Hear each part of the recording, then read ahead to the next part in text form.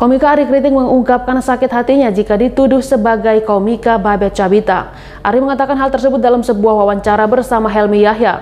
Dalam cuplikan video yang beredar, Helmi menanyakan lebih sakit mana, dituduh non-muslim atau dituduh sebagai babe cabita. Ari yang mendengar pertanyaan ini langsung tertawa ngakak di depan Helmi. Helmi pun menggoda Ari dengan pertanyaan lain, apakah hal tersebut karena Ari merasa lebih ganteng dari babe cabita. Namun Ari langsung menjawab dia bukan sakit hati karena hal itu, tetapi lebih kepada insecure dengan karirnya selama ini. Dia mengaku sakit hati karena sudah berkarir dalam dunia komedi selama ini namun tidak diingat. Ari pun selalu berusaha untuk menerima kenyataan tersebut.